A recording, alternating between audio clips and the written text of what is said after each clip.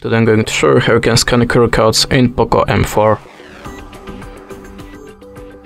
So in the first step open the camera app, now in the photo section you shall see small Google Lens icon, so just tap on it and choose open camera, allow permission, and again, and show the QR code to your device.